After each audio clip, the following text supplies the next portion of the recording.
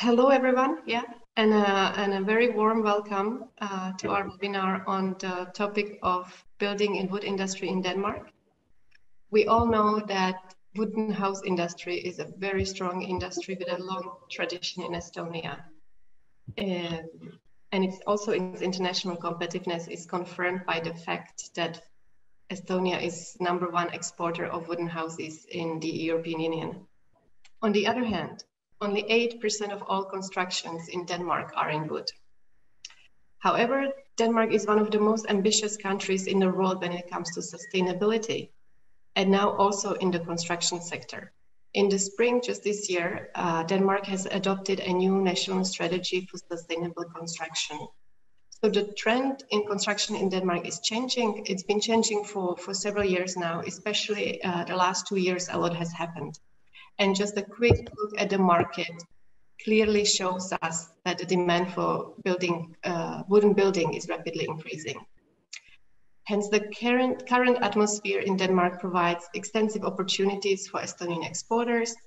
And the goal of this webinar is to give an overview of the market, look at the current trends, and uncover opportunities for Estonian manufacturers in the wooden house sector. My name is Lucie Fallesen, and I am the EAS export advisor responsible for the Danish market. I'm stationed in Copenhagen, Denmark, and I will be guiding you for the next through the next uh, an hour and a half, maybe two hours. Um, we have three uh, Danish market experts on the agenda today. Firstly, to introduce the topic of sustainability in the Danish construction sector, we will hear from Christina Grann who is Development Manager for Sustainable Construction and Circular Economy at WeBuild Denmark. Her presentation will be followed by Peder Fynholm uh, from Danish Technological Institute, where he uh, sits as Vice Director at Center for Wood and Biomaterials. Peter will talk about uh, the trend of wooden building in Denmark. And last but not least, we have Mickey Lund, uh, from Building Network, who will give an overview of who are the major players uh, and major initiatives in the field. Uh, and also give you concrete tips on how to establish new and successful partnerships with initiatives. So to this end, uh, to this end, I would really encourage all of you to use this unique opportunity to ask questions to our fantastic speakers there uh, we'll organize it that way that there will be uh, some time allocated at the end of each presentation where uh, questions can be asked and will be answered. So please make sure to pose your questions to the respective speakers right away. Don't wait until the end of the webinar. Uh, and I'll keep an eye on the questions and ask them to the speakers. But to do so, uh, to post your questions, you can use two features of this Zoom platform, either um, the Q&A function or the chat function, both is just fine. Uh, but before I give the word to our guest speakers, uh, I am very honored that the Ambassador of Estonia to Denmark, uh, Dr. William Mart kindly agreed to join us here today and say a few welcoming words. So, uh, Mr. Ambassador, please, the screen is yours. Thank you, Lucie, for this uh, introduction. And uh, ladies and gentlemen, I'm very happy to welcome you to this uh, webinar. We have been, well, Estonia and all people who want to um, present Estonia have been working hard on establishing these kinds of uh, webinars because we think it is actually a useful tool for explaining and showing some possibilities that we have. Now, Estonia is a country where, if you have visited, and I hope uh, you have, there are many different kinds of buildings. We have been traditionally, since uh, a thousand years or whatever, used different kinds of building materials. We have a building material industry that produces all kinds of different materials. We even have a traditional cement factory which has been working for over 100 years. And it goes back to some Danish engineers who are active in Estonia and were starting to uh, work on concrete uh, buildings and pipes and whatever. So we have a broad range of experience in all sorts of building uh, forms and building materials. And so why wood? And why are we so successful in wood? It's because it's one of the materials that we know very well because we have a lot of forests, you know, and a lot of tradition. And the main point is that wood is very flexible. It is the most flexible material for building. Now, um, I am an engineer by training, and once I, when I studied materials, you know, wood is the lightest, strongest material with which you can do anything. In other words, you can push on it, pull on it, you can stand on it, and in that sense, it's very flexible. Wood is also a um, sustainable um, building material in many ways, including the fact that it captures the CO2 or the carbon and the carbon stays inside for as long as you have the building. And uh, so it is a, an ideal material and it's also very good for energy efficiency. So this is why, while everybody can build using any kinds of materials to achieve different kinds of goals, it is actually wood that is probably the best material. And the question is, how do you use wood in different ways? And we have a number of almost 200 innovative companies who have been exporting and thinking of different ways to build with wood. And of course, we would like to share this information with others, and perhaps um, others will also have, find inspiration and ideas for their own projects. So I'm very happy once again to welcome you to this uh, webinar. I hope you find it interesting and that it will be a useful start or continuation for you in building with wood. Thank you. Thank you very much. Thank you for your kind words and all your support. Uh, now we're excited to, to get into the agenda and hear from uh, our speakers. So Christina, please, you can start sharing your uh, screen.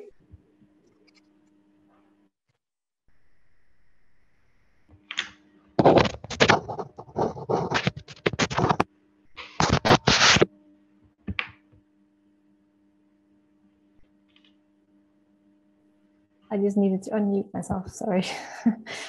you can see my screen now, just to make sure. Okay, good. Um, I will, my name is Christina Grann Myrdal, and thank you for the for the invite for today. I'm really happy to be here, and I'm excited also to talk about these how we also work with sustainability in uh, in the Danish uh, construction uh, sector. I am the head of development uh, in sustainability, or sustainable construction and circular economy in the organization called We Build Denmark. It's a very new organization, uh, but it's it's also based on a long um, range of years of experience with um, with sustainable construction or construction industry in, in um, yeah uh, in general. But I'll just give a brief uh, introduction to where I'm from because there could also be some uh, possibilities to work together in the setup that I am in. Um, so just briefly, um, I work in We Build Denmark, and one of the reasons why we have this organization is the cluster, um, is that we have quite a lot, it's a big industry also in Denmark. We have 250 billion kroners turnover. I'm not sure how much that is in Estonian um, currency, but it's quite big in Denmark. We have employed uh, around 180 employees in the Danish um, construction sector, and we have 6% of the Danish export is also from the construction industry. Um, a bit about what we do. We have three overall focus areas where I am the head of development for one of them, which is the sustainability uh, or sustainable construction and circular economy. But we also have focus on digitalization, automation, and also on smart city and intelligent buildings. Um, so we, we also have, if that's also interesting in a later setting, that could also be interesting maybe to, to talk to you about. Um,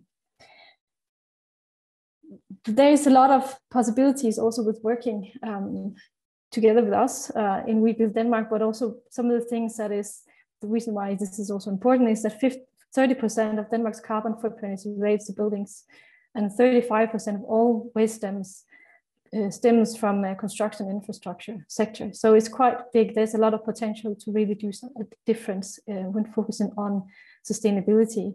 Um, and also, as you also said, said Mart, uh, that wood is also a possibility to really increase um, the, the, the considerations about sustainability. Some of the things that we do in our organization is that we have knowledge uh, transfer, we have communication of knowledge, we have matchmaking and business development. And that is also some of the things that could maybe be interesting future on also to maybe talk more about if, if some of you are interested in also working with Danish companies. And I know that Mickey later is also going to tell some of the stories of collaboration or cooperation between um, Estonian companies and Danish companies. But that is also some of the things that we would like to have with, um, um, if that's uh, of interest for you.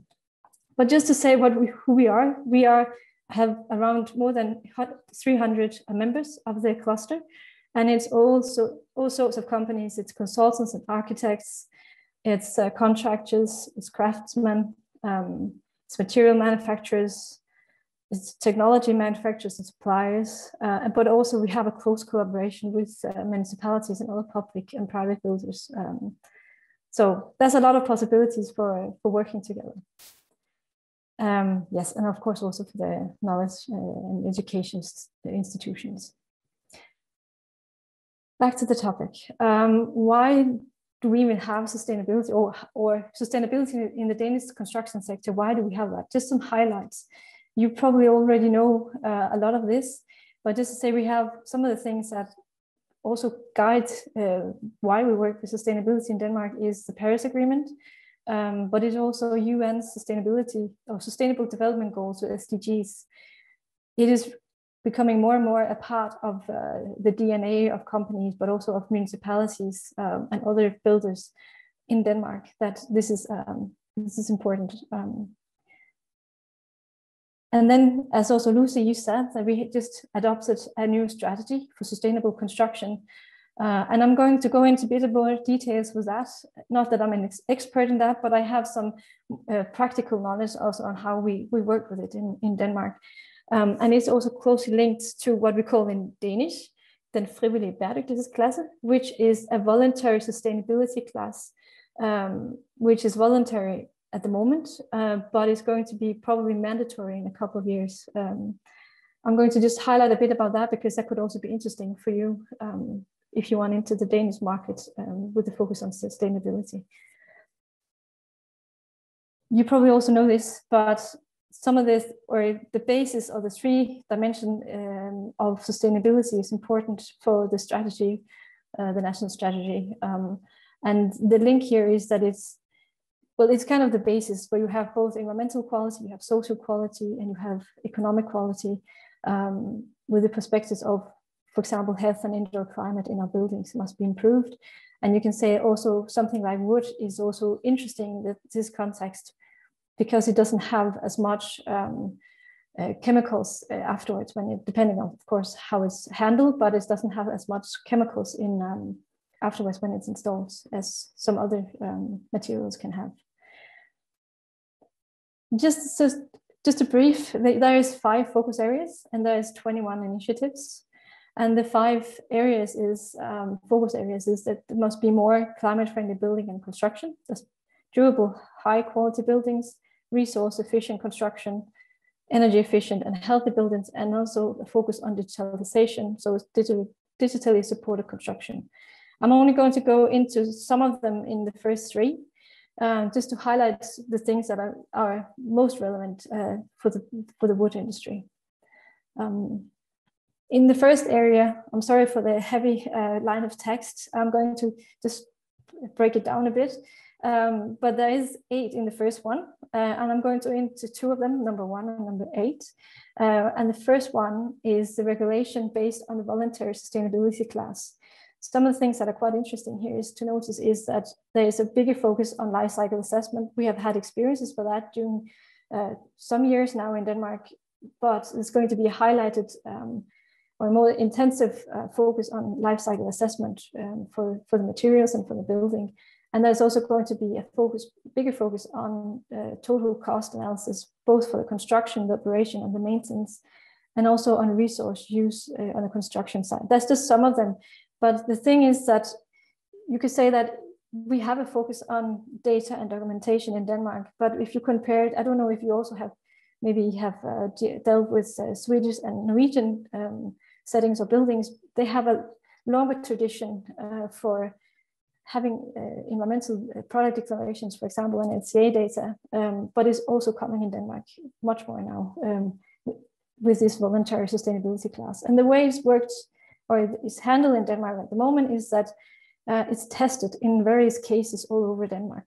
So it, to get experiences on what works, what has to be altered a bit, uh, how is it to work with, is something has to be adjusted.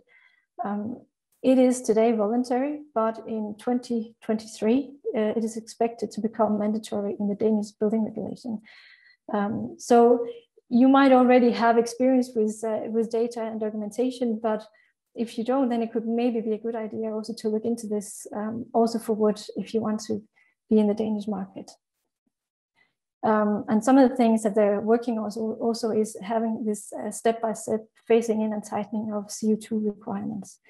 Um, this can be quite interesting also in the future. Um, in general, also have to have a focus on as a company.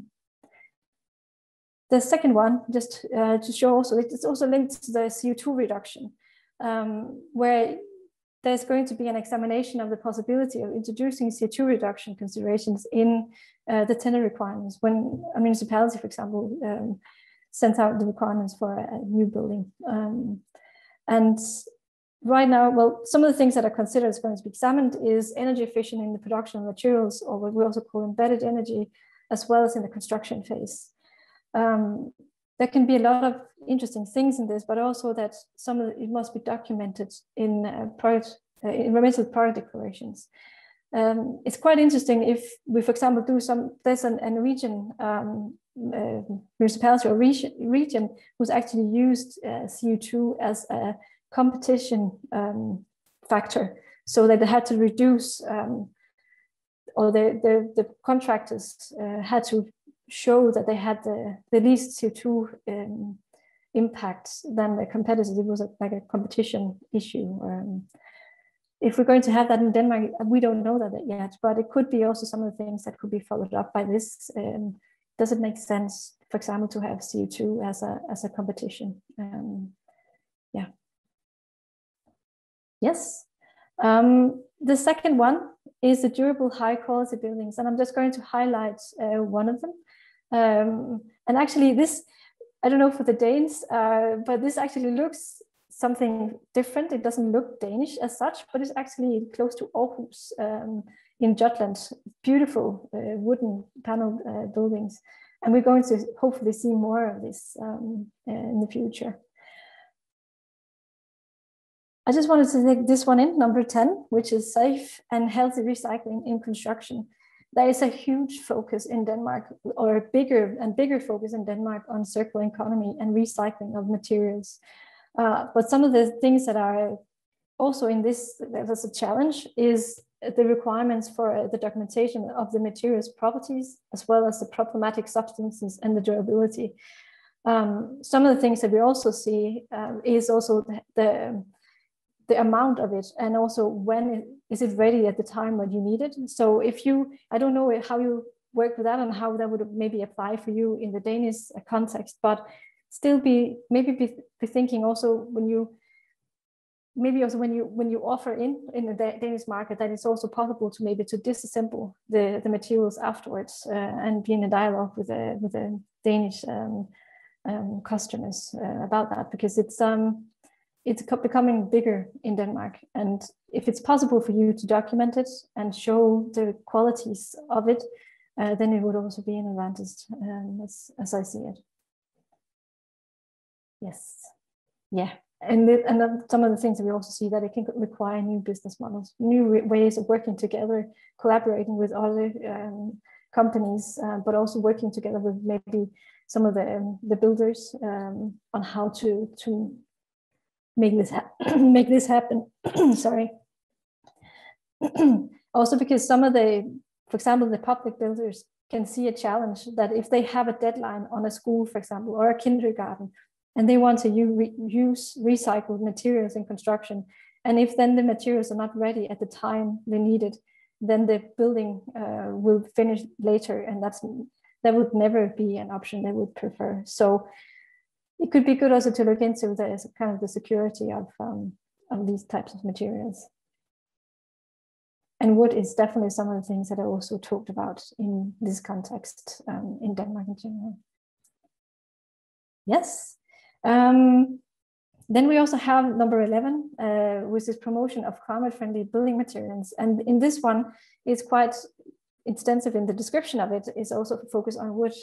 Um, and some of the things that's going to be examined and investigated is the thing also about um, with load-bearing structures that they we want in Denmark also to have wooden structure construction in up to uh, five floors. And I'm sure that the the two uh, presenters after me maybe will highlight it a bit more. Not sure, but at, at least also say um, um, that this is also some of the things that could be interesting to to um, in, look into further in the Danish context. Um, yeah.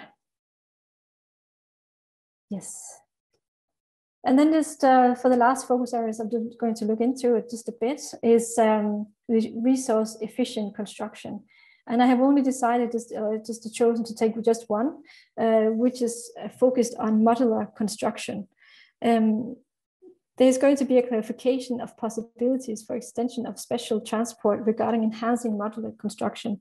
Uh, and some of the things that are linked to this is that for example, we have a long tradition in Denmark with uh, windmills, and the Danish ways are, or the kind of kind of laws, practical thing is how can you transport it um, from the production side of the modular constructions and to the um, production or to the construction side. Um, so it also has to look into that. It can also support that. That if you want to transport modular construction, is the road, for example, is it um, um, suitable for that? And yeah, what's the possibilities? But there is a really long line of benefits of modular construction. And some of them is optimization of consumption building materials. I'm sure that a lot of you already know that, and I'm going to go into depths in this. Um, but it is also a good opportunity for recycling and recycling during a disassembly. So having a modular construction could also gain a lot of um, benefits um, sustainability wise. And so that's also why we also want to look into that in a Danish concept, context. Um, yes. And then we have, yeah, I just mentioned that before, where the barriers could be, for example, the transportation from production site to construction site. Um, and it could also be interesting in your setting that the possibilities of how would then it how would it be if you transport it from uh, from Estonia to to Denmark, and how is uh, the yeah the transport from the for example the harbors? Yes, and then the last slide that I have is uh, just briefly summing up some of the possibilities and challenges uh, and opportunities. Um, we have new strategies like the one that I presented today, and it's going to be basis also for for future leg legislation. Um, for example, with uh, the voluntary um, sustainability class, that is also going to be a part of the the yeah the requirements is going to be in Denmark. So if you're also ready with some of the, the requirements for documentation and data, for example, uh, with LCA and environmental declarations, it's it's definitely um, a benefit. Um, and then also we have different certification um, systems that we also use in Denmark. Um, I'm not sure if you have familiar with all of them, but there is a more um, some maybe familiar in a in American and European setup that's called LEED and BREEAM. But in Denmark, we have it's called DGNB. It's based on a German um, certification, which is also highlighting the, the need for um, for data, uh, for example, but it's also a really, really good tool for the process in general that you have a good um, collaboration with the, the people involved um, in the building. In the building, and then just to as finished, then sustainability, sustainable and circular productions and solutions can possibly provide new business models and partnerships, and also new markets um, based on that. And I can only uh, encourage for the partnerships uh, because partnerships between companies, but also between um, um, public uh, builders or other types of builders and also um, knowledge institutions. And um, yeah, whenever we, whatever we can also help with where I'm from, where I sit, um, let us know, and we can also have future uh, webinars on different topics or other topics where we can go into depth uh, with some of this. But I tried to make this um, fairly brief today, so I, that was um, all I just wanted to say today. Um, so, is there any questions? And please uh, ask. Thank you, Christina. Um, thank you so much for, for all your input here. Um, so everyone who is joining us here today, if you have any questions, now is the time to ask Christina. Maybe some of our other speakers might have uh, questions to Christina to follow up on her presentation too. Um, if I should summarize what, what, what you touch upon is basically that sustainability and circular economy are important issues in Denmark. There is a lot of focus on it. Some of it, some of the regulations are still uh, voluntarily, mm-hmm. but that might change in the very near future. If not 2023, then shortly after that. Mm-hmm. Um, and but I would just say, no matter if it's voluntarily or not, uh, having a focus on it as a supplier or a producer definitely could give a good competitive advantage because it, it is being demanded by the customers in Denmark. So, uh, and in, in a much higher degree in the future will be. So having a focus on it really pays off. Uh, that's how I hear it. Yes. Um, I, let me check. I think there might be one question here. From uh, Indrek, uh, he's asking if there is a timeline for adjusting the fire regulations up to five floors on combustible materials? That's a really good question, and I'm not an expert in that. Uh, maybe uh, Peder might know that better than I do. Um, so I'm not. I'm, or I could find out if, uh, but I'm not an expert in, mm-hmm. in fire regulations. Sorry. yeah, the fire regulations are. Um, uh, being discussed a lot because we all know mm. they are quite harsh in Denmark, especially compared to other countries. Mm. Uh, but um, there's a lot happening in that area too. So we might ask Peder later on about this. Um, but uh, if anyone else has anything uh, or is interested in any, anything else uh, from this uh, field, you can always uh, get back to Christina or come to me and ask questions and we'll try to uh, find answers for you. There is a, a Q&A. Is there, there is one, is there one more? Yes. What could be the future cooperation possibilities for Estonian companies uh, and Build Denmark? That's a really good question. Uh, and that, that is my question and someone took it from me. Marcus. um, there, there could uh, be, yeah, I think that is something we should explore. Uh, we have, a, as I said, we have 300 um, uh, members in our organization, and we could, for example, matchmake with uh, with you or and some of our members um, if there could be a possible cooperation. I know that, um, yeah, for example, there's a, a, good case, and I think I saw it on, on Mickey's slides uh, later with a Danish company and, and, an Estonian company. So that could be some of the things that we could support with, um, link up with um, other companies, uh, but it could also be with uh, builders in Denmark. Um, so there could be different uh, possibilities for, yeah, for cooperation in We Build Denmark. And feel free to write to me. Um, either uh, with the email that you or through Lucie, that's you're welcome to do that. Mm-hmm. And there was a lot of um, information on your presentation, so you have kindly agreed to be yes. to share your presentation with us later on, so it will be sent to everyone. So who is interested can really dig into all the legislation and new regulations on the way. Um, thank you so much, Christina. I will really look forward to do more cooperation with you um, uh, between us or involving, hopefully actually involving the companies to, to help them uh, yeah. create new partnerships that would, would uh, be fruitful for, for, for both sides, for everyone basically, and yes. for the climate. yeah. Thank you very much for now. Um, if you want to stay, you're very welcome. Maybe there'll be questions later, but uh, I would also understand if you have a busy schedule, I need to leave. I'll, I'll stay. So if there's questions later, I'll be here. Great, thank you for now. Uh, and now I would uh, kindly ask Peder Fynholm uh, to uh, come on the screen. Hello. Hi. Uh, and I just let you now go through your presentation. Yes, I'll share my screen.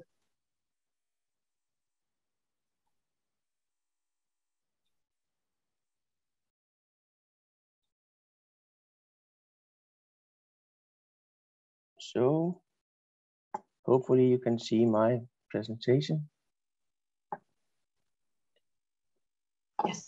Yeah, Okay. Thank you also uh, from my side for the invitation uh, to speak today. Um, I, as uh, Lucia mentioned, working at the DTI, uh, has been here for more than 20 years. Uh, a civil engineer uh, and wood technology at, at, focus for my education back at 1999 from DTU. Uh, I have a lot of uh, activities within the area of using wood in construction. Uh, I will I will not go much into detail there, but I have some years of practice in this. Okay, my agenda for the for this presentation is uh, kind of giving an overall perspective of wood in construction and also a Danish perspective. And then I will uh, finally give into some of the activities that we are currently involved in at, at DTI. So um, maybe this is kind of basic knowledge uh, it for also for this audience uh, because, uh, well, we have all, I guess, an interest in using wood in construction. Um, and often, uh, you know, it's uh, the environmental uh, impacts that we are focusing on, and that, had, that has been a, driver for many years until now. but we also need to remember other of these drivers within this area uh, all the economic uh, sustainability issues related to this, they, they need to be highlighted even more uh, in order to, to especially have the construction clients see the benefits of, of going this way. Uh, and then uh, we also have the sustainability uh, issues that, that that kind of plays a role in this. I put in a lot of bullet points here. I'll not. I do not have time to go into all of them. Then then we will uh, need some time at the end, I guess. But but uh, I guess also you know them all. But uh, my point here is just that we need to remember to try to highlight many of these uh, things as well as we do with sustainability. So um, wood in uh, buildings that uh, is to be seen in many different ways, and um, yeah, often it is an architectural element in, in in these buildings. what our focus at, at, at uh, with our activities uh, lately have been is, is, is having wood used as the structural element um, for for the yeah uh, construction se uh, sector, and especially also for multi-story buildings. Um, then it's uh, also I think important to stress that it's not uh, there's not a need to to to to be able to see the wood in the in the buildings in in order to to the building to be a wooden building. But uh, but often, uh, especially for new building, it's the the architect has a very highly uh, wish of having a lot of wood exposed, and um, that's often also gets some complications. Especially, I heard the question about fire before, but there's some some things about fire and, and visible surfaces that, that is challenging. Uh, and uh, finally, uh, when we're talking about buildings, it's it's not you know, steel buildings, wood building, concrete buildings. Actually, often it is a, a mixture of, of, of, different materials in order to use them the best way. So, um, so this is actually, yeah, uh, we just need to make sure to use use, use the building materials wisely. Uh, and um, yeah, so um, focusing on the wood as, as a structural component, it is still, uh, at least not in Denmark, uh, seen as a natural alternative to to the construction material that we use today. Uh, and it's also seen as, as lesser durable and with shorter life uh, compared to the alternative. So, so that's kind of a, some of the barriers that we need to uh, address. Um, even though we have a long history of using wood worldwide, uh, many old buildings are still uh, standing out there with, with has a wooden structure and also a wooden uh, surface. Um, think also Christina mentioned it, uh, or no, it was Lucia mentioned it that that, uh, that the, the use of wood is different around Europe, and in, in Denmark we say it's around eight percent. I don't know if, if that figure is no the statistics statistics behind it, but uh, it's it's somewhere like that, and it actually has been decreasing for some years. Uh, I think actually now uh, I will say this this this this number is going up. Uh, the last four or five years we have seen a, a huge change in in the demand there. Compared to other countries, uh, Austria have put some numbers in here. There has been a huge uh, increase the, the last 20 years. And um, yeah, market is also growing in Denmark. Here I don't have any Danish numbers, but uh, in Sweden and Germany, uh, and I do not know the Estonian numbers, but the, the market share for, for one family houses is quite large in Sweden and and also yeah higher in Germany than, than it is in Denmark at least. Um, going into the market of multi-story buildings, uh, Sweden have good statistics on this, and they are around 10 to 15 percent in that in that area, um, and uh, I guess they are leading the race uh, worldwide. Um, here are some numbers for for different part of Scandinavia, uh, where yeah, I've also put in the the amount, uh, the share of, of, of forest in each country, and and and um, as, it is to be seen, uh, the forest area uh, of land is kind of having also an impact on on the the, the area uh, or the ratio of uh, uh, multi-story buildings in in these countries. So what is behind these things? of course, history plays a role. Um, we had had some fires two or three hundred years ago that that kind of had set the rules for our uh, current regulations around how to construct buildings. Uh, so we have, do not have a, a, a, regulation scheme that is fully uh, adaptable for, for wooden construction. Um, and it's especially seen when we are building up in the height. Um, yeah. Um, so uh, the two areas that, uh, yeah, fire is of course one of them, but acoustic is also an, an issue to to to address regarding this other barriers that we need to, to look into uh, is durability, it's our tradition, uh, as mentioned before, that experience uh, needed to be higher in order to be more sure that we choose and make the right uh, solutions when we are building with, uh, with a wooden structure. Uh, then there's regulation in a more general way. the biodiversity issue, do we have enough trees, is also often mentioned around this economy as the the last thing which kind of is a very uh, high, highly uh, used player in order to decide which way to go. But uh, why this does we, this matter? Of course, this is also, I guess, numbers you are familiar with. Uh, uh, yeah, the production of steel and uh, cement alone is about 50% of the global CO2 emissions, and that's yeah, that's a lot. Uh, so, so there's a lot of issues that we need to look into that uh, not only just substitute all with wood, but also for these other building materials, how to decrease these numbers here. Um, I think Christina, I'm not going not that much into it, but Christina mentioned some of those uh, climate uh, drivers. Uh, there's different overall climate drivers also in the Scandinavian countries here. Uh, that is kind of you know same same timeline. Some of them some of them are uh, more ambitious than others.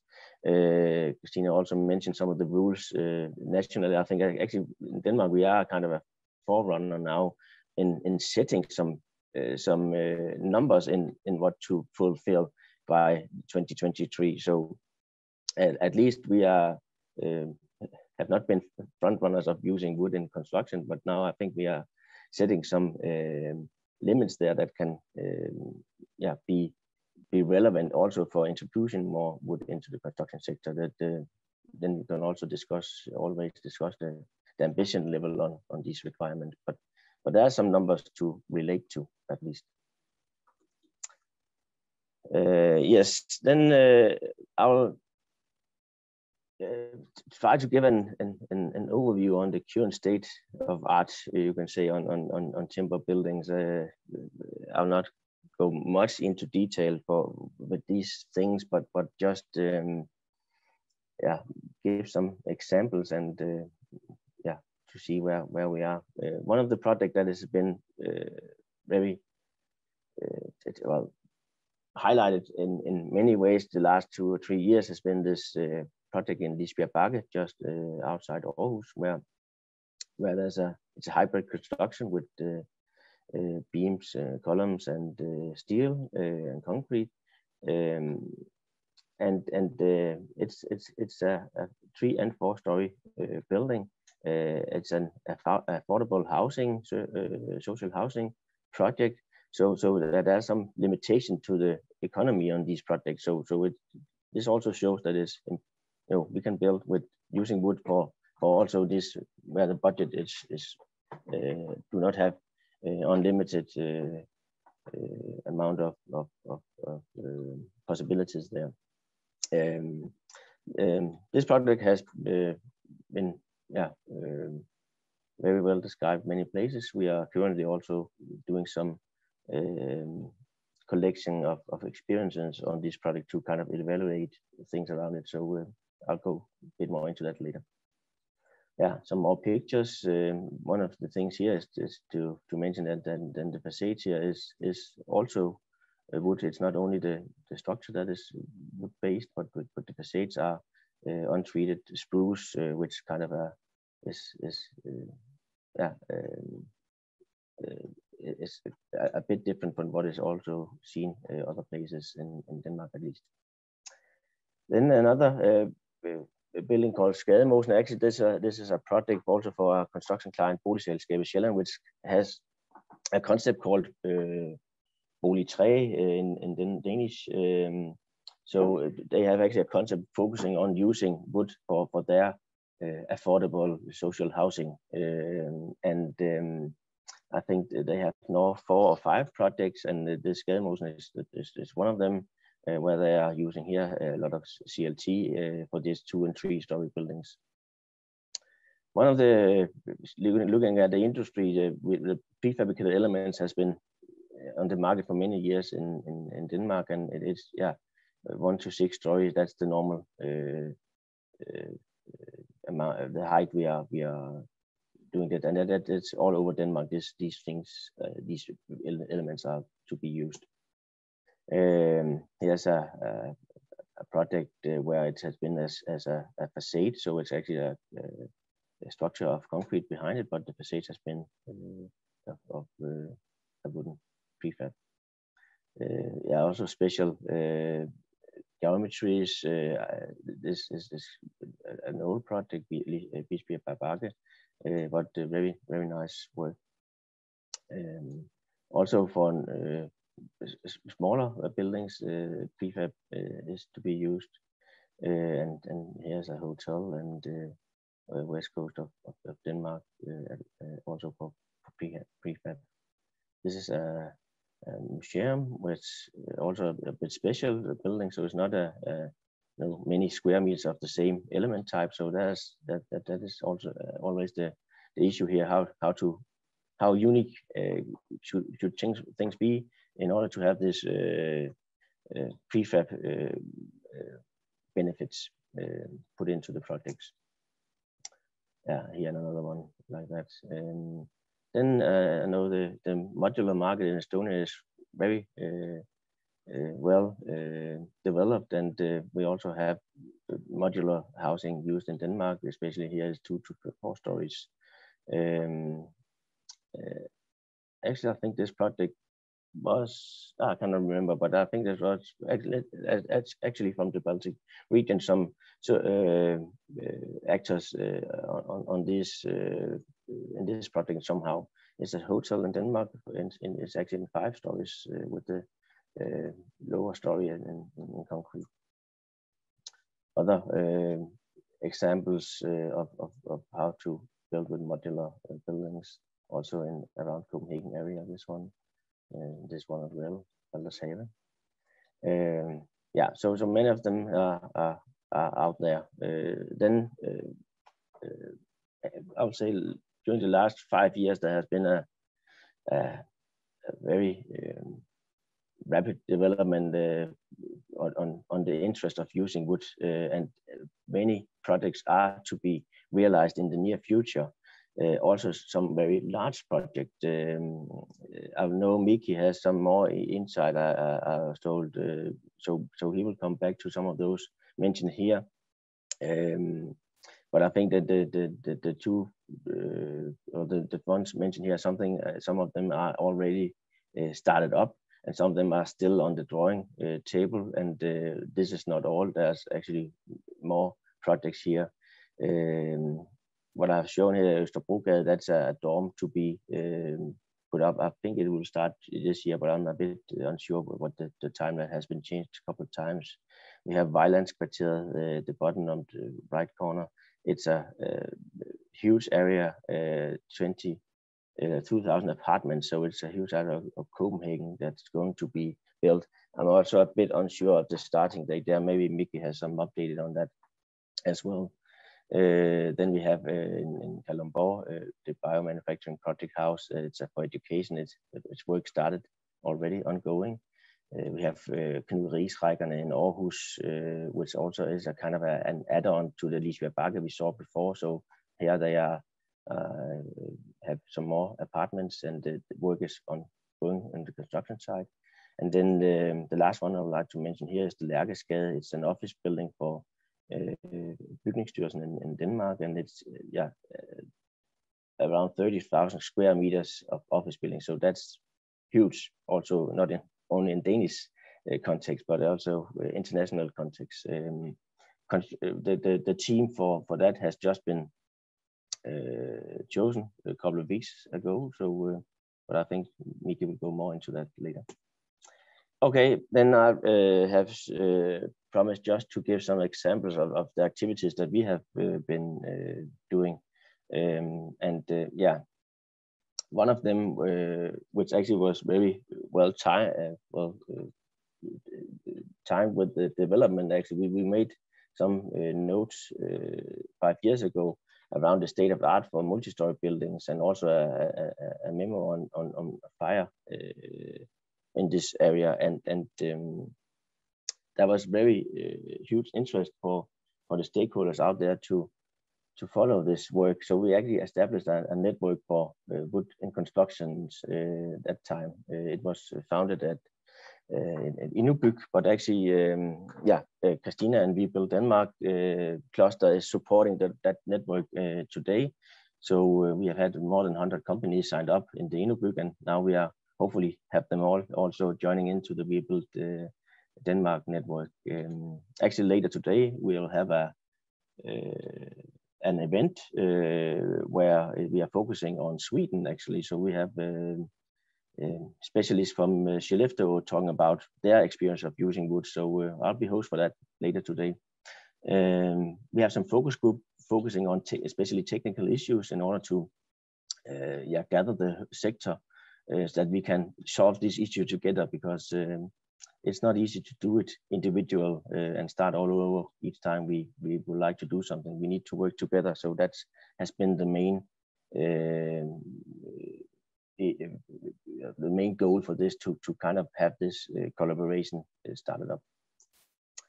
Uh, we also have started this Nordic network for tall wood building. We did that in 2018. Uh, unfortunately, we do not have any fund funding that right now. So now it's running a very low level. So um, we try to find how to, to continue this work. Um, but you're able to join the LinkedIn group uh, at least. Then another very uh, exciting uh, project we have just started is actually not a project, it's actually a commercial assignment from Realdania. Uh, and here we are a technical uh, secretariat and evaluator to go into specific building constructions in Denmark that is ongoing and also has been finished to kind of uh, gather uh, experiences and also to identify which focus areas do we need to support in order to have a robust and, and safe future for use of wood in construction in Denmark. So that's a very exciting work. It's just started and yeah, we will hopefully be more clear on this uh, later this year on where we should uh, do more effort in order to to use more wood in construction in, in Denmark.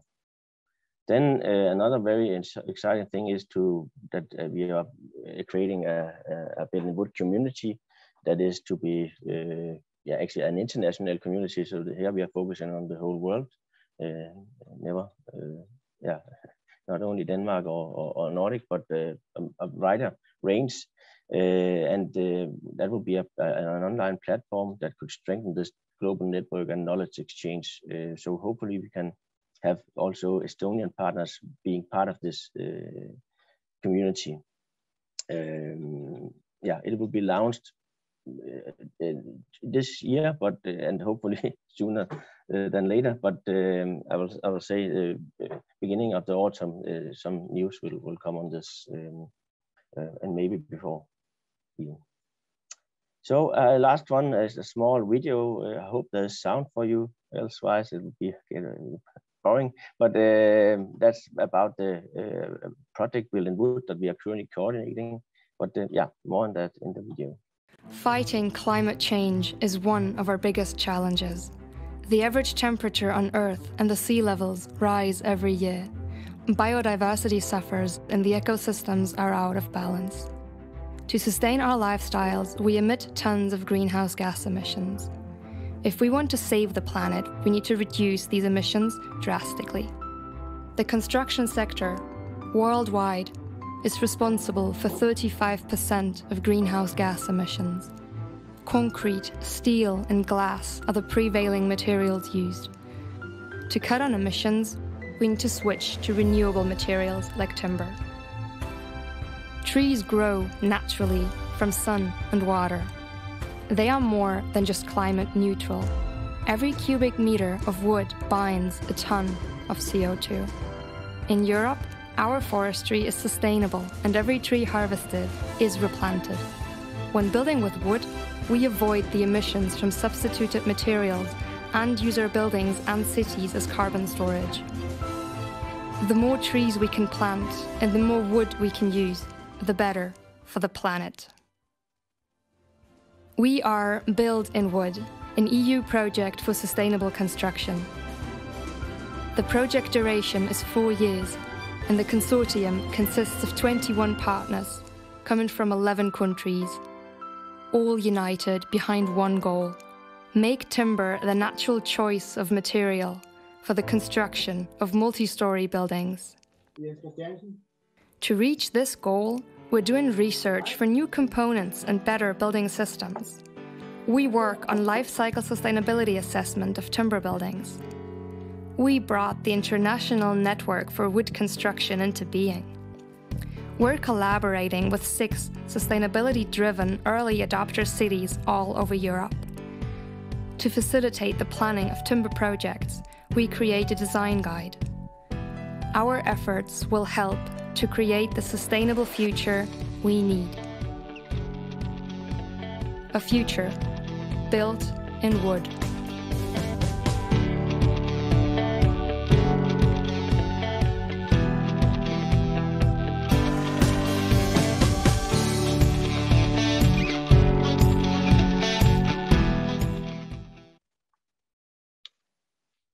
Yes, and that was actually it. So maybe some questions? Yes, thank you, Peder. So now uh, it's the time to ask questions to our speaker here. So please uh, use some of the functions here.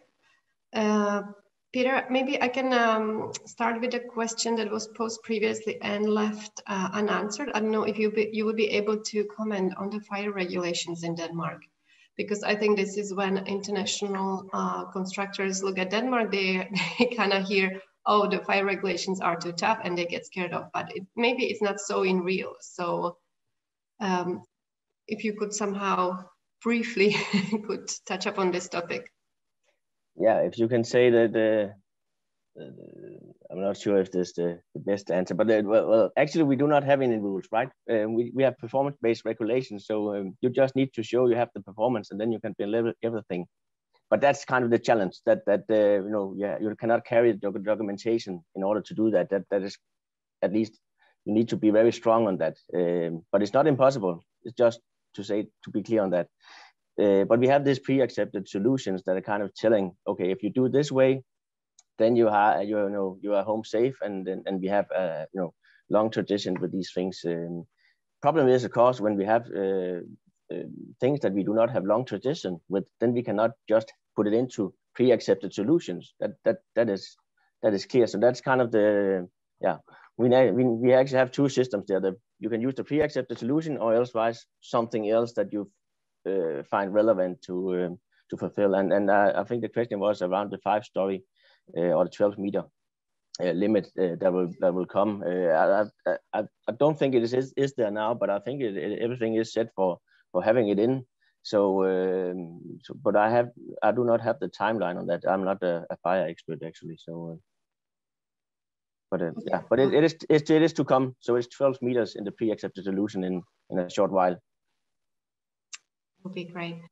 So, so when looking or listening to your presentation, it actually looks very optimistic. It looks like there are, are many projects that, that have been finalized, many projects on the planning board or in the pipeline, but it's still not enough, right? It's, it's we still need to push a little bit more, uh, especially compared to other countries. Uh, the, um, the shares are very low in Denmark. So hopefully with all the initiatives you also mentioned there, uh, there will be more awareness about the possibilities. And uh, actually, if you ask me, or yeah, I have been asked uh, five years ago, I also asked four and three and two years ago, and how do you see it?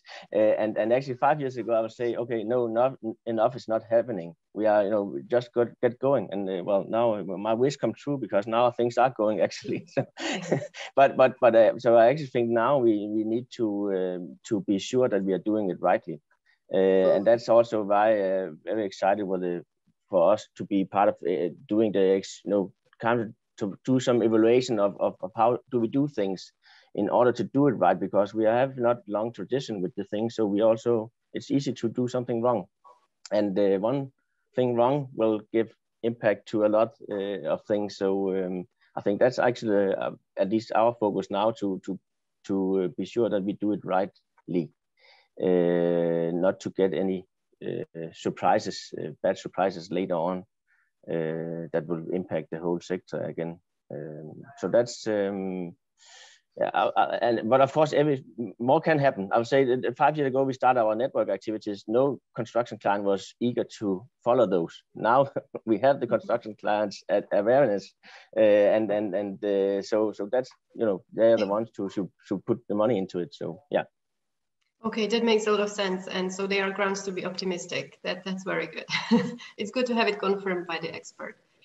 Um, and maybe just uh, I'll repeat the, also the second question that was asked to Christina. Uh, where could you see some future cooperation possibilities for Estonian companies uh, in, in Denmark?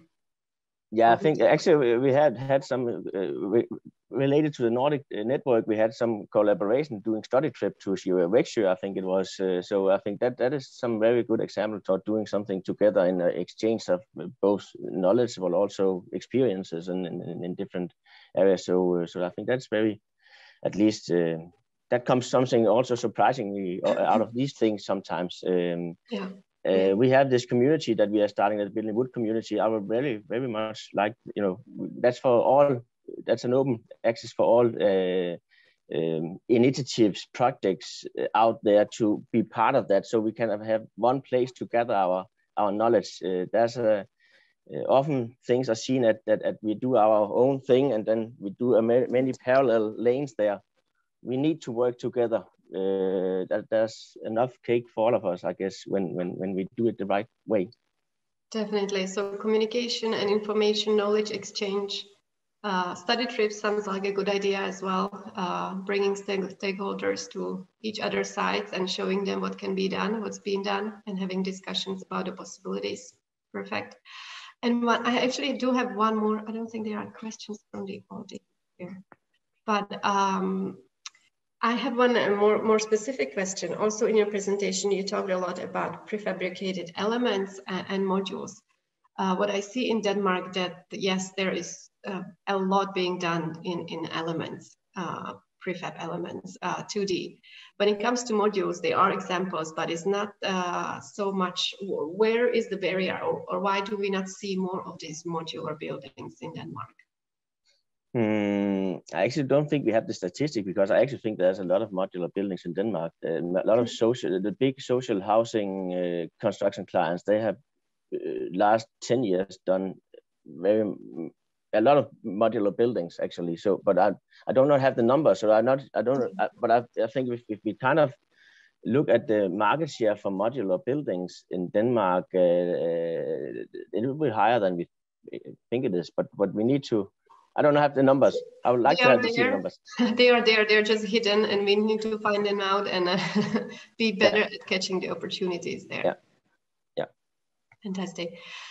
Peder, thank you so much for all your input today. It was very relevant. Will could we also use your presentation afterwards? Will be able to send us the slides for sharing? Yeah. Yeah. Sure. Perfect. Perfect. Thank you so much. Bye bye. rest of the day. Yeah, you too. Bye. Uh, and now I will ask Mickey to uh, come on the screen uh, and share his uh, presentation with us. Hello, Mickey.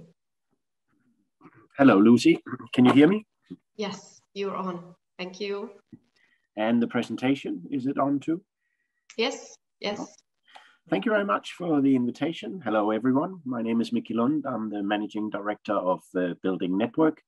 We help uh, international clients when they're trying to enter the Danish and Scandinavian market. And Lucie has invited me here today uh, to uh, uh, uncover some of the opportunities in Denmark, uh, uh, explain a little bit about the stakeholders, and emphasize how you, as an Estonian company, can expand your business in Denmark. Uh, I've, I've, brought along uh, a couple of, of pi pipeline projects. Uh, a few of them are similar to the ones that Peder's shown, so a few of them are, are different. I'll go in a little more details in terms of what the projects are about and also uh, a, a, little about the, some of the stakeholders uh, if they have been uh, announced. The first project, uh, quite an interesting uh, project. It's uh, one of the biggest uh, timber developments in Denmark. It's uh, located in uh, in Odense, the second largest city, the third largest city. Sorry, it's the Danish Building and Property Agency that will make uh, workstations for uh, 1,600 governmental uh, employees.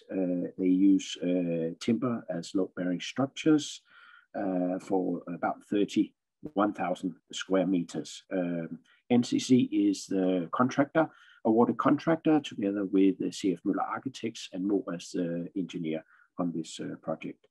And the reason why this is uh, quite a, a, unique project to talk about is that it's uh, kind of a leading example where the uh, public organizations uh, uh, try to help move the industry in a more wooden direction and save considerable amounts of CO2. Construction materials are directly responsible for a substantial amount of building total CO2 emissions. Thus, an increased focus on the use of timber in construction project is important to construction to the green transition of the industry as a whole. But it is not just uh, public, um, uh, what do you call it, public organizations. Just a second, I'm having problems shifting my uh, my uh, here it goes to the next one. here we go. Uh, it's not just the public uh, entities that are uh, looking at sustainable construction, it's also the, the private. And some of the drivers in the private sector are uh, ideally the pension fund. This is, this is an example of uh, one pension fund. Published that there will be private offices in, in, in Copenhagen. It was only uh, last week, so the stakeholders have yet been announced, uh, but uh, as soon as they, they are. Next one is uh, uh, on the uh, fantastic island of Bornholm. is a is a small hotel called Green Solution Hotel. they have a very uh, sustainable uh, approach towards everything in the in the hotel. And when they were uh, going to extend uh, with their new wing, obviously they were looking at uh, uh, wooden wood as one of their drivers. One of the main stakeholders in the project was 3XN, uh, another Danish architect. Uh, they do a lot of uh, wooden projects, not just in Denmark, but also in Canada. They have their own think tank green think tank where they come up with new innovative ideas, both on, on circularity, but also on sustainability.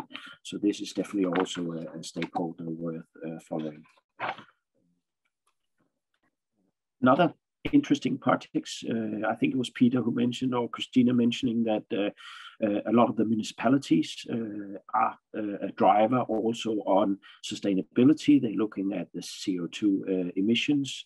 And here we have a, a, a municipality of Viborg who has tendered out a, school with load-bearing construction, but also facade elements in in in, in wood. Um, architect Slot Møller and ERIK Architects have been involved in the, in the project as stakeholders.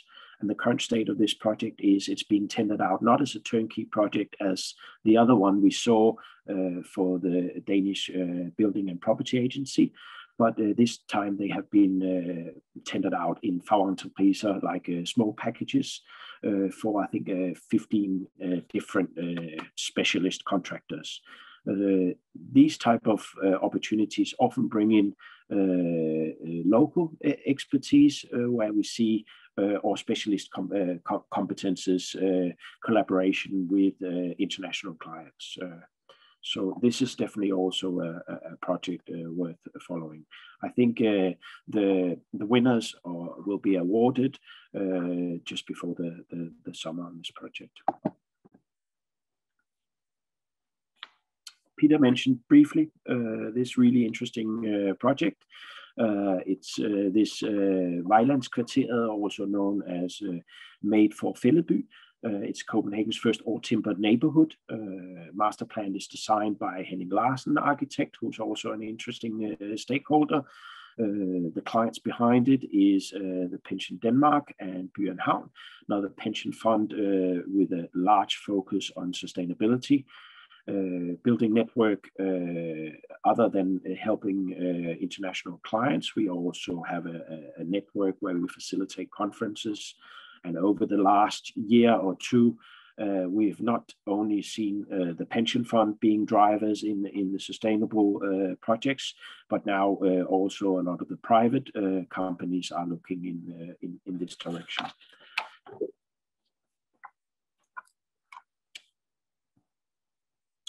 The interesting about this project is it's actually forming a, a transforming a, a, former dumping ground site into a, a model for sustainable uh, living, accommodating up to 7,000 residents in, a tire uh, timber construction.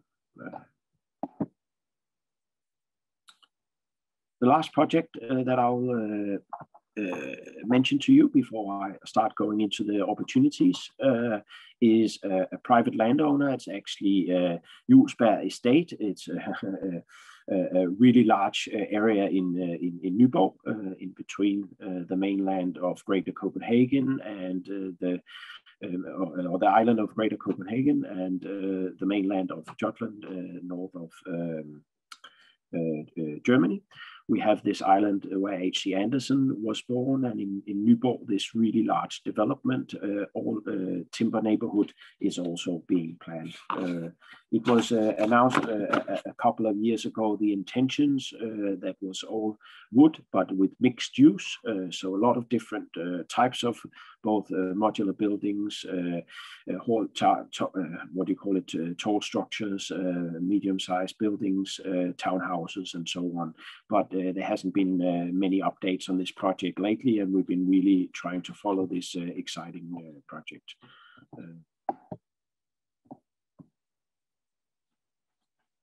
And uh, I think it was also uh, Christina who mentioned something about uh, looking into uh, new tendering models uh, where CO2 reduction could be a uh, criteria or awarding criteria. quite interestingly, the municipality of Copenhagen has recently announced that they would have a a, demand of, of, of, wood used in construction of the extension of one of their schools. So this is uh, quite new that the largest uh, uh the, the, largest uh, capital or the largest city in, uh, in Denmark is actually looking into this uh, wooden directions also.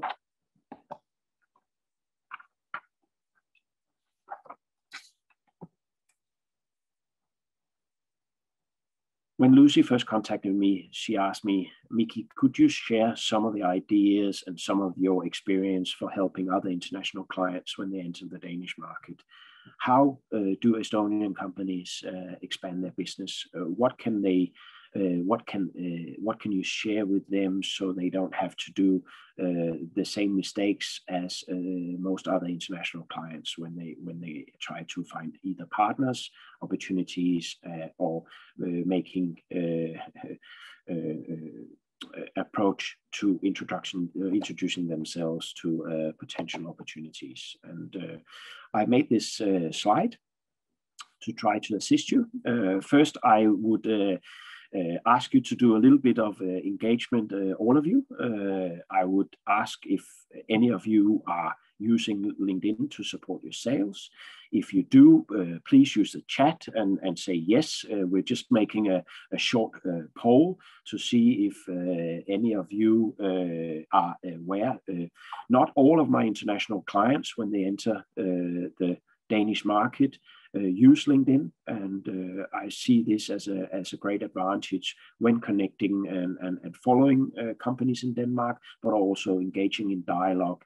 Uh, um, so, if you could just uh, spend one minute just going to your chat and just say yes or no. If you are not uh, using LinkedIn or have a, a, personal profile, uh, please uh, answer no. If you do have one, answer yes and uh, we can have a, a good feel of uh, uh, how many Estonian companies are used to using their, their LinkedIn in the sales. I have a, a couple of answers, still got a, few ticking in.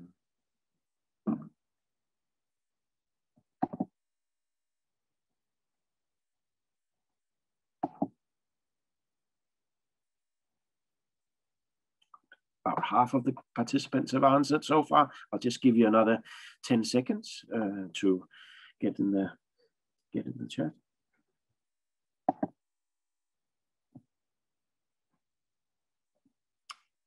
Thanks a lot. Uh, last time uh, I gave a speech to a group of uh, Estonian companies uh, we did a small uh, survey among the group of participants uh, where they explained that uh, uh, their biggest challenge when introducing themselves to the Danish market or the other Scandinavian markets was that they were getting so few answers. Uh, many of the participants were using uh, email as a email as a, a, a, tool, and they were writing in in English. And two to five percent uh, answers were, were, were given. I would like to share you a, a, model which many of our other international clients have had success using uh, when approaching Danish people. Uh, Danish people like to share knowledge. Uh, they are not really fond of being contacted uh, by uh, sales related approaches. So if you use this, um, I would call it uh, approach, uh, your uh, your dialogue will increase dramatically. Um, what we found, what we've learned is that its relevant approaches are much more likely to be answered and using LinkedIn uh, by first following the company will uh, allow you to get a lot of vital information on the type of projects and the, the, stakeholders within each company that are working on the projects. So the, the second part or after following the projects or the company on LinkedIn, you will get in your personal feed a lot of information when they publish that they won projects or they are entering into partnership with other stakeholders in order to be pre-qualified for, for new and upcoming uh, opportunities and tenders. Uh, when you've identified the relevant stakeholders, uh, it is important for you to reach out and connect with them. Uh, always use uh, the additional text in LinkedIn. There's an opportunity to write a small personal note. Don't just try to hit the connect button, which seems a lot easier, but actually give a personal uh, greeting uh, to each of your approaches. And then the next thing, which most of the clients, when they try to enter the uh, market, actually find quite difficult. This part, once potential partner has uh, accepted to connect with you, they are very uh, likely to actually explain a lot of uh, information about what they do and what they can deliver. Uh, you should actually turn everything uh, around and actually show a lot more interest in this company and getting to know it better. Remember, people buy from people they know and trust. And uh, this is important to get to know the person before you can actually start selling to them. So, what we recommend is that you ask a Danish person for permission to ask a couple of questions initially on LinkedIn. most people, uh, 70 to 80%, would actually accept uh, that you ask questions because normally they have a competence within the field. And if you're asking questions uh, relating to a project or relating to their company, uh, they see this as an opportunity for partnership and not uh, uh, trying to actually purchase something of you. Second, second, what you call a step in the dialogue or phase uh, could be uh, to ask for their help. Uh, Danish people are also very happy to help you, but again, if they feel that it's too much of a, a sales approach, uh, they would end the conversation. So the best thing you could do to initiate a dialogue is actually to ask for their help, uh, maybe introduce them to a relevant co colleague uh, once you have stated your interest in, in, your company.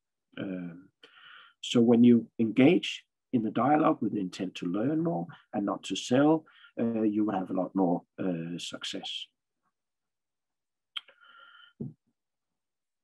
Most of the Estonian companies that we work with so far uh, either approach Denmark with an intent to become a, a subcontractor or find an ideal distributor, partner, or agent. Uh, this uh, approach uh, can be used in, in, in both terms uh, for, for, uh, for finding either a partner or a, a client. Uh, so uh, the, the best thing for you to do in, in this sense is actually to start testing the approach and this will you will see that this also works for you.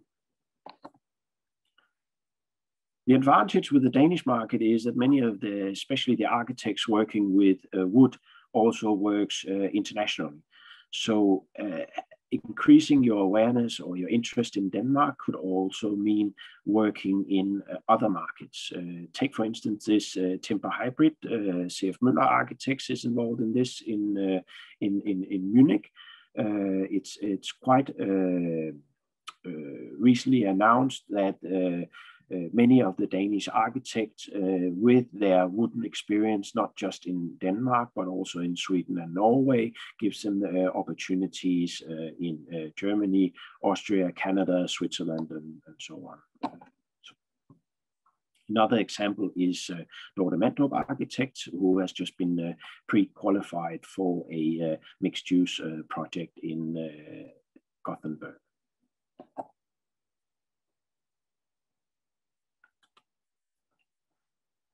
A couple of weeks ago, I read a, an interesting story about one of the leading uh, modular uh, house building uh, companies, Scandibyg.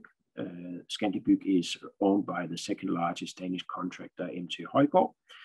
Uh, in the article, it was mentioned that uh, the uh, it was a, a, a, three-way collaboration between Estonian, Danish, and Germany uh, from what I could find out in the article that the Estonian German company, uh, it's a mixed uh, company, uh, was uh, offering uh, Scandibyg the opportunity to work with their new modular building that could be used both in as a, a, summer house or in a, a temporary living quarters and actually with this interesting design. I think uh, from what I've seen with the prefabricated and modular buildings from Estonia have a very high level of uh, construction and working uh, cross-border either with uh, a Danish architect or Danish uh, modular builder could be a large advantage to adapt uh,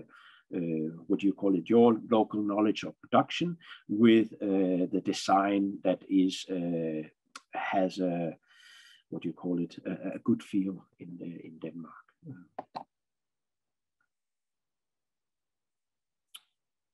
Some of the questions uh, we often get has a, a, legal and a financial uh, matter. We uh, often get questions such as, uh, how do we make sure that we are compliant with all the rules and, and legislation while we're here? Uh, we know about the, the, the, the, harsh Danish unions. You have to meet certain minimum requirements in terms of, uh, of salary. Uh, there is specific uh, building codes that we have to comply with. these kind of questions, we have a, a team of advisors that can uh, assist you uh, on, on uh, these matters. So we have a network, it's not our own employees, but we have a large network. So if you have questions in terms of this, feel free to connect with us and we will connect you with our large network of advisors. One interesting uh, connection that I would like you to have a little bit more look at is that uh, COWI uh, is uh, the second largest Danish engineering company in Denmark, recently purchased one of the largest architects and now doing integrated services. Uh, they recently they recently developed a, a, new wooden team that would work both across uh, architects and engineers in terms of having a more integrated approach towards the new wooden uh, project uh, clients. And uh, I've uh, in this sheet, I've just added a, a small link for uh, their video, but there's also the two uh, head of department stakeholders, one from COWI and one from Arkitema, if you follow that the link in the slide. I will share the slides afterwards so you can have links to both all the projects and all the, the articles that I have mentioned in this presentation.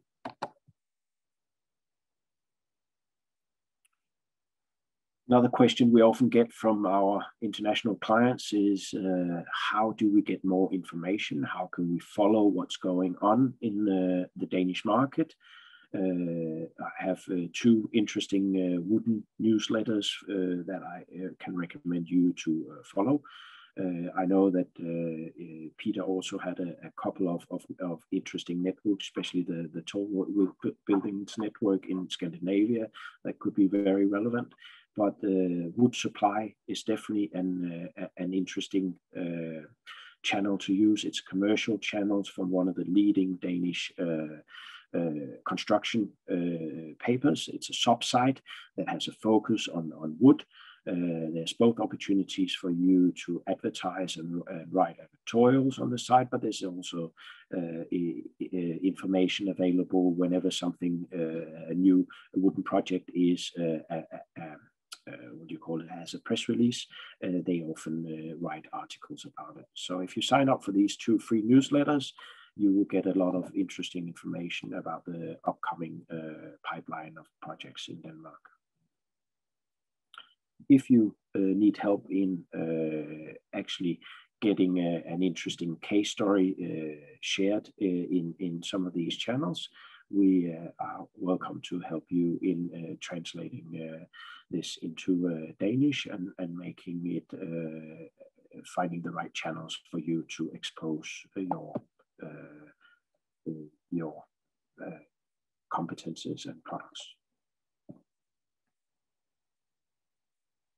Last year, a new annual magazine was for wooden um, players was established and uh, in the first edition of this, uh, these uh, 17 companies were all giving articles and insights into the wooden construction. Uh, I believe that uh, especially Supreme, who was also pre-qualified for one of the early projects that I mentioned with the big office, BM Byggeindustri is one of the uh, like Scandibyg, one of the leading modular builders, who also, could also be relevant for you. Adserballe Knudsen is a one of the largest uh, contractors with uh, carpenter expertise. Uh, Rambøll is the leading engineering uh, company. Uh, Henning Larsen, we have all already discussed, uh, but there are more. the um, this magazine is called Woodworks. It's an annual Danish magazine. It came out for the first time uh, last year in September and would be a good broad channel for you to expose your products and services uh, and, and uh, maybe create an advertorial if you have any um, references in Denmark or in Scandinavia that you can could share in this magazine. This would be a, a, a, an interesting way of, of exposing your, your company. But we also have a, a, an annual event, uh, a Danish uh, conference with focus on uh, wood. it's called Building Wood. the last one was held in in May, so it won't be until the next uh, spring that we will have uh, the next conference. Normally, two to 300 stakeholders take part in this event. There are exhibition opportunities. Uh, the companies uh, have uh, two full days of networking. There are a lot of keynotes where, where you can meet the leading stakeholders in the country. So if you are only to take part in in in, in one uh, wooden event and have one marketing activity in uh, Denmark, this could be uh, an, an the, the, most important one for you to attend. I know that Lucie has attended the last uh, couple of years. Uh, we were there uh, two years ago, both of us, and I know that she took part in the, the, the recent event, which was also a hybrid, where it was possible to participate virtually.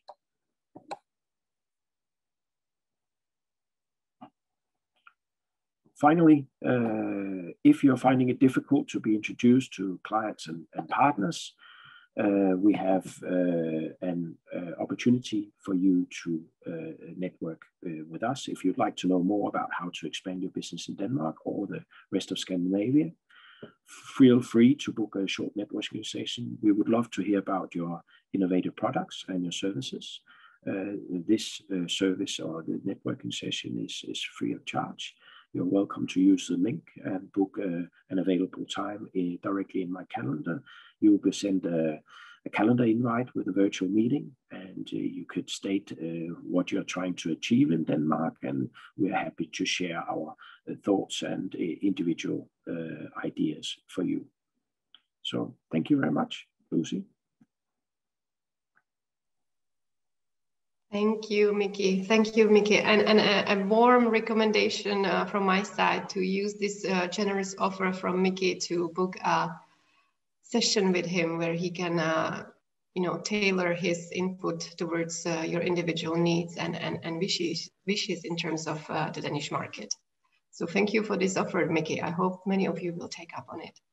Uh, very interesting presentation. Now is the time to ask questions. I don't see any questions, so um, we'll give it a little bit more time. There is one coming in. there is also, and uh, Christina's saying that, oh, it's maybe just a comment more, mm. that at the beginning of September, there's also a new conference on bio-based building materials. That's mm. true. Uh, it's another series of conference by the Building Green Network. So um, anyone working with bio-based uh, building materials or re related, this could be also the good option. Um, maybe Mickey, uh, what what would you what what is your view of? Um, I agree with you that LinkedIn is definitely a tool that needs to be used on the Danish market, and it's a tool that works. I can confirm that.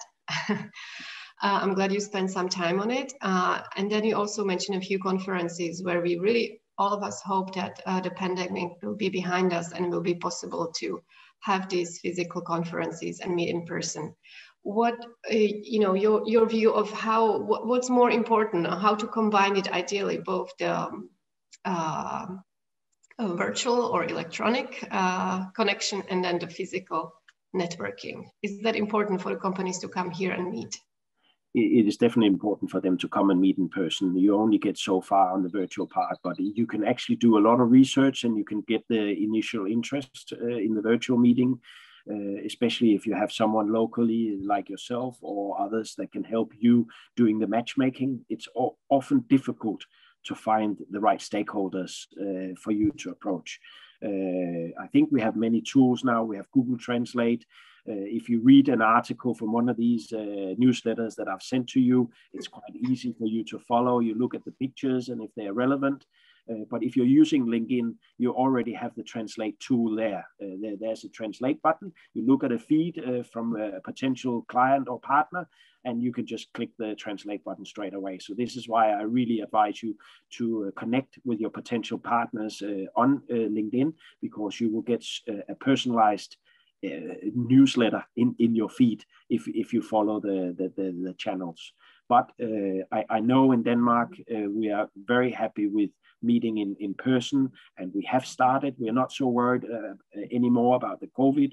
the last couple of months, I have had several physical meetings again. Uh, uh, things seems to be opening and up and i know just after the summer break uh, everything won't be back to normal but it will be back to a new normal and uh, uh maybe making this initial virtual meeting as your first step after the linkedin approach and then try to see if you can have a physical meeting you get a lot further in physical meetings in denmark and this is just my uh, yeah, advice mm -hmm.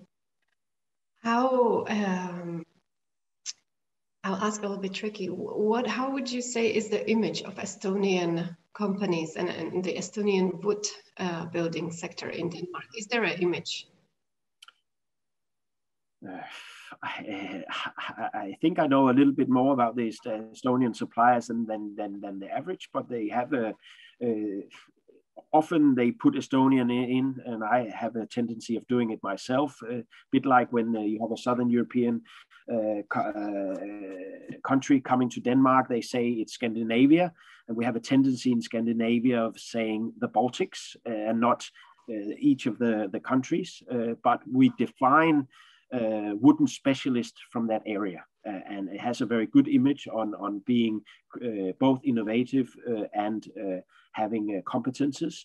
Uh, the hard part is actually uh, getting that, what do you call it, cross-country collaboration going there's not a, a lot of uh, companies that are in, in Denmark and has in the past. I know Estonians have uh, do, uh, done a lot more collaboration. Is it with Finland and Sweden in the past, and a lot more tradition with doing collaboration here.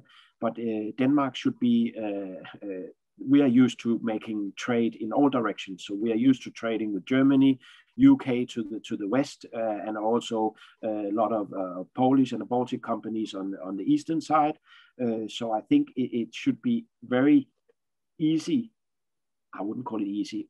A lot more open for the first uh, introduction to Denmark because we're used to working in collaboration with international companies uh, is definitely what we feel compared to the other Scandinavian markets. Uh, but we don't have a big tradition, and this is probably the biggest difficulty. So how important, yeah, how important would it be if we could a little bit follow up on this as well? How important it would be to have some kind of middleman on the ground, a, a, a Dane working for the company, or is it possible to go directly to, to construction clients or other partners in Denmark? it, it's definitely possible to go directly to the construction clients, but it is uh, difficult uh, uh, because to get their attention and to get their time. and if you're not here in person, if you're just trying to reach out on on uh, on an email or something like that, you will feel like you're hitting a wall.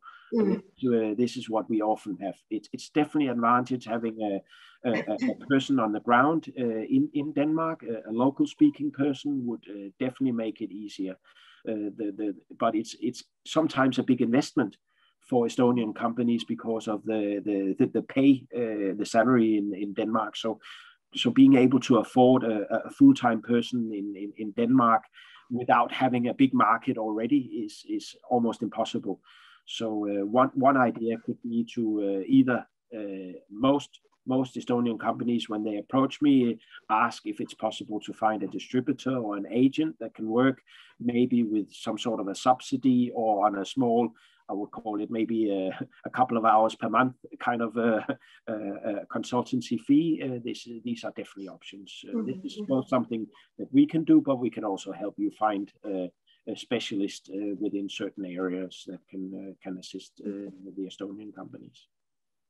Yes, yes, okay. Otherwise, I would I would always um, advise Estonian companies to do their homework, get to know the market, uh, and then be a lot of be patient be, and persistent when when trying to approach uh, possible partners uh, and when creating the partnership. And now, also when it's going to be possible, be present and and and, and meet and mingle. As you said, I've been at the Building Wood conference uh, in the middle of May and that I can just confirm it is the place to be. You meet very relevant contacts, high quality contacts who are interested in the building wood area and are looking for new partnerships and new cooperation op opportunities. So, seems, uh, so, sorry for interrupting, Lucie. It mm -hmm. seems like when the Danes have decided to go to a conference, then they are more open than when you contact them either by phone when they're uh, uh, worried about something else or by email when they have a thousand other things to do. But once they have given it uh, focus to, to, to be at a conference, they are a lot more open and a lot more e a lot easier to approach. So I definitely uh, uh, recommend that too. So I really look forward to seeing everyone here in Denmark.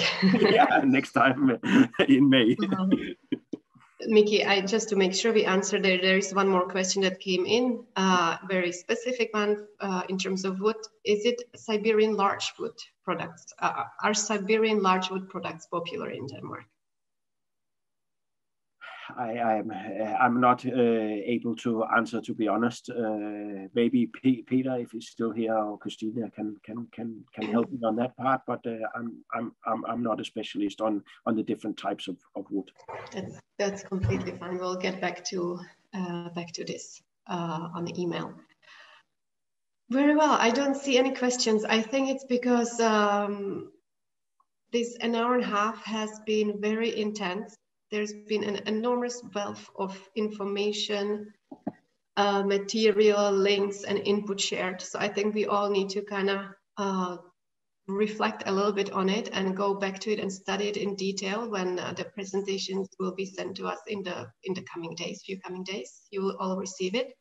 Then you'll have time to really go, go back to it and uh, dig into the specific areas that are of your interest and uh, see how you can incorporate it in your in your strategies and uh, your planned activities towards the Danish market.